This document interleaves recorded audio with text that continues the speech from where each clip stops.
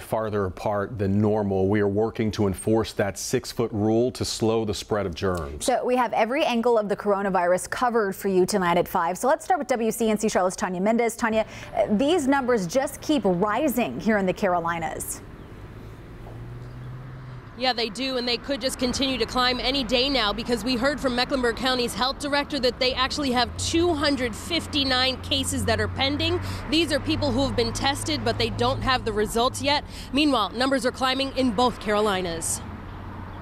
Coronavirus in the Carolinas reaching a deadly milestone. South Carolina reporting its first death, a patient at a nursing home in Lexington County.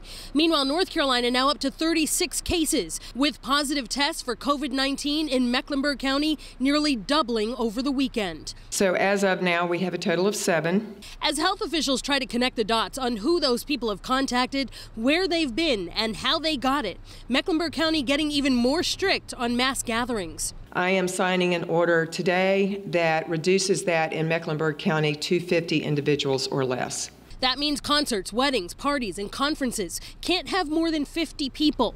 The rule not applying to the airport, offices, malls, or restaurants. But it's still a stricter one than the governor's order, which limited gatherings to 100 people.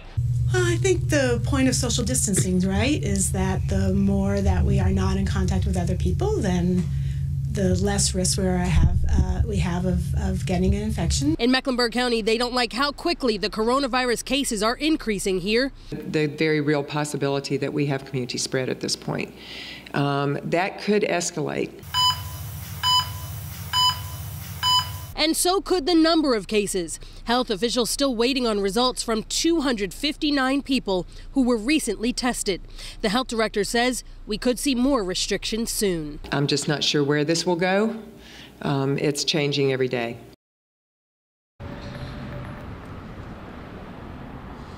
So you heard the president's recommendations about restaurants and gyms. We asked the health director today about whether they're going to be restricting restaurants and gyms. No plans to do so yet, but they said that they are issuing guidelines asking restaurants to have tables that are at least six feet apart and gyms having them like mark off the treadmill so that every other one is spaced out so that there's more space between people as they're working out and to be diligent about cleaning.